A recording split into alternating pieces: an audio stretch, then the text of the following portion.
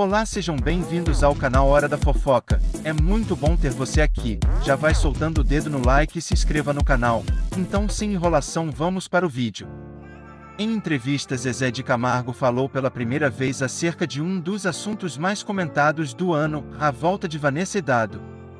Sem papas na língua, o cantor não titubeou e expôs o que pensa sobre o namoro da filha. Eu não tenho nada contra, disse ele. Perguntado, então, se tinha algo a favor deste romance, o cantor foi direto e reto na resposta: nada também. Além de falar sobre o polêmico relacionamento, Zezé revelou que raramente vai à casa de Luciano sem avisá-lo e externou que a dupla sertaneja que mantém ao lado do irmão há 30 anos é o maior patrimônio de sua vida após a sua família.